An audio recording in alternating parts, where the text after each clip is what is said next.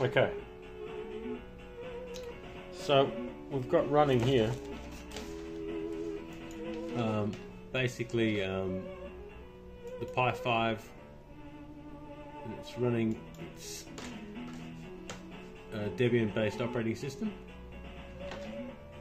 and we're going to run Amiga Game Selector from it, just to give you an idea of how quickly it runs. Don't know why it's asking for help, but just ignore it.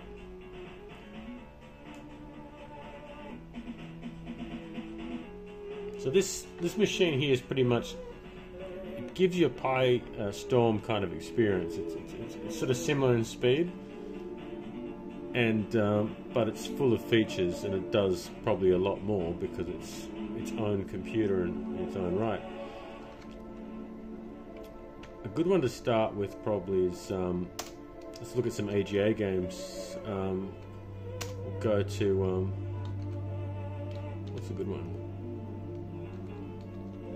Colourful game. I'm trying to think. Anything really? Oh well, this yeah, this this this works. But okay, maybe, maybe Aladdin is probably going to be the best one to just have a good idea at speed wise, and it's it's very quick to load.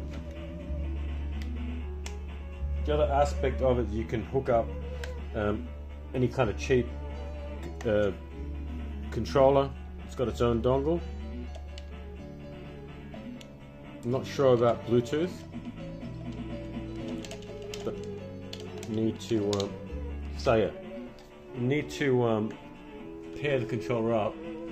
You go down to input, and you see port one's nothing. You'll see the gamepad. Whatever you've plugged in usually turns up there um, you might have to remap it. So just follow all the different settings. Different.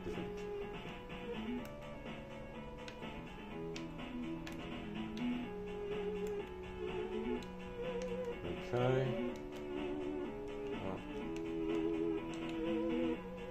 Then in the middle, that one. And if anything else, just press a on this one to get through it all, and then get back into the game.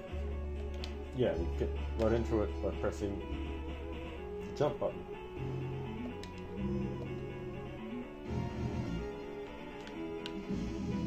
So you see the speed is really good. Okay. Managed to pause, but there's no. I haven't. Oh, there we go. Sorry It's not... Oh!